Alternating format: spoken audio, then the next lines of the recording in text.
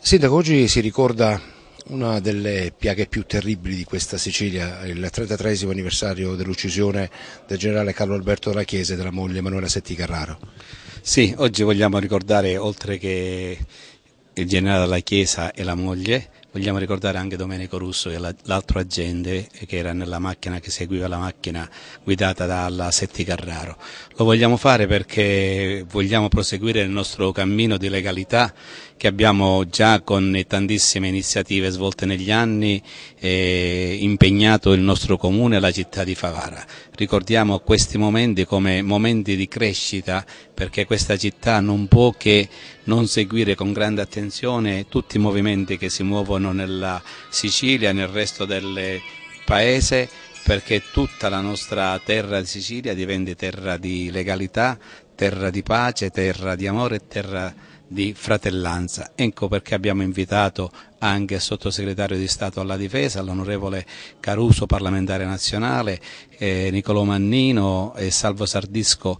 Presidente e Vicepresidente del Parlamento della Legalità, perché vogliamo riaffermare questo grande concetto. Io li ringrazio per la loro presenza, spero che la città di Favara, e sono convinto che così sia, trarrà vantaggi da, questo, da questa iniziativa di oggi. Onorevole Rossi, oggi si ricorda un sacrificio, un servitore dello Stato.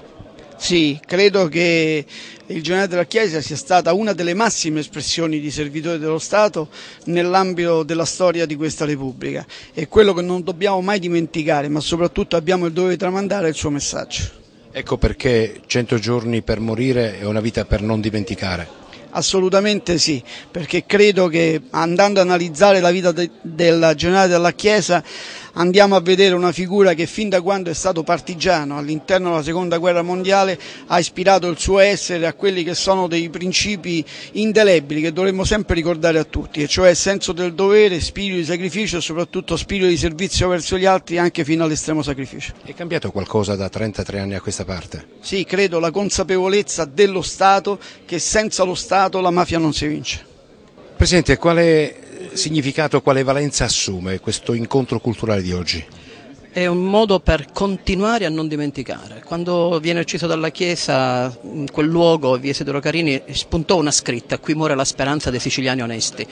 Anche dopo la strage di Capace e Via D'Amelio, nonno Nino Caponnetto, che con me ha fondato il Parlamento della Legalità, disse è tutto finito ma è stata la disperazione di un momento, perché se poi pensi all'affetto dei ragazzi, all'affetto dei giovani, dei bambini, da tanta gente onesta che eh, non chiede ma ti fa capire che ha bisogno del tuo sostegno del tuo incoraggiamento, allora io dico che oggi da Favara parte una sfida, una sfida grande perché abbiamo un uomo dello Stato, abbiamo tanti sindaci, tante autorità, tanta gente che ci crede e vogliamo proporre quello che è un percorso alternativo. Legalità non è dire ah io sono contro la mafia, per carità lo siamo tutti, ma noi dobbiamo dire oggi da quale parte stiamo, quindi essere a favore della vita e come disse dalla Chiesa chiesa a quello studente a Palermo gli disse ma lei è venuto qua ma perché vuole sconfiggere la mafia, guardi che lo fanno fuori, lui disse io lo faccio perché la sera voglio avere il coraggio di guardare negli occhi i miei figli e dire ho fatto il mio dovere. Io invito la gente a fare il proprio dovere ed essere gente che pensa al positivo. Allora questa manifestazione